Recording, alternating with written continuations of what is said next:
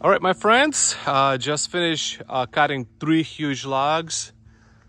Uh, we made from them 16 uh, 4x4s right here. Looks pretty nice, and we stop for today uh, as we become tired and I have another job to do. So I have photo shoots, so I have to go back to the shoot for the evening, and that's how it looks like.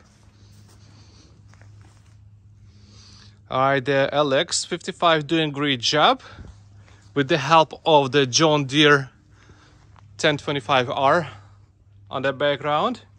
And I think we made pretty nice work.